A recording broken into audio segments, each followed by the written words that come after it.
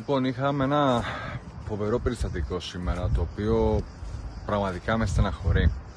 Ήρθε μια Ελληνίδα ομογενής από την Αστρία όπου ζούσε Ελληνίδα. Απλά είχε φύγει στο εξωτερικό. Ε, και στην Αστρία έκανε ένα παιδάκι, ο σύζυγός της την παράτησε, η ίδια έχει πάρει την επιμέλεια του παιδιού, αναγνώρισε το παιδί ε, και, και Ευρωπαϊκό Δικαστήριο και το Δικαστήριο της Χάγης έχει την επιμέλεια κανονικά του παιδιού.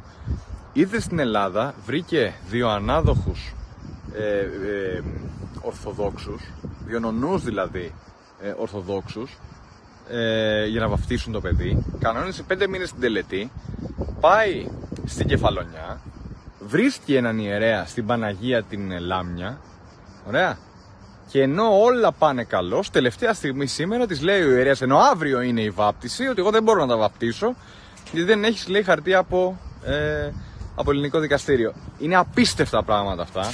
Δεν υπάρχει κανένα εκκλησιαστικό κόλλημα, δεν υπάρχει κανένα κόλλημα ιερών κανόνων. Είναι όλα σύμφυτα και σύμφωνα με τους κανόνες της Εκκλησίας μας.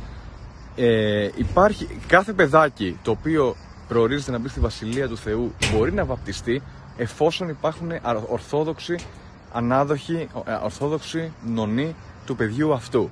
Και εφόσον και η μάνα έχει βαπτιστεί ορθόδοξη και δεν υπάρχει κάποιο τέτοιο κόλλημα. Δεν ξέρω για ποιο λόγο αυτός ο απίθανος ιερέας έκανε αυτό που έκανε. Δεν ξέρω για ποιο λόγο αυτή η απίθανη Μητρόπολη Κεφαλινία που προσπαθήσαμε κι εγώ ίδιος να έδωσε επικοινωνία μαζί τους και κρύβονται.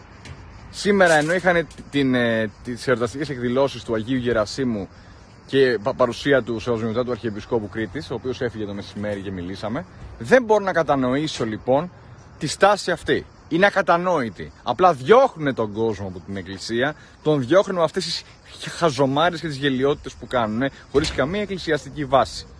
Κάθε παιδάκι, εφόσον πληρούνται οι προποθέσει, μπορεί να βαπτιστεί ορθόδοξο. Όλα τα άλλα είναι απλά δεν ξέρω για να εκβιάσει ο ιερέας. Ερωτώ, ερωτηματικό. Για ποιο λόγο να συμβαίνει αυτό; Θα το δείτε όλο το ρεπορτάζ στο Εκκλησία Online.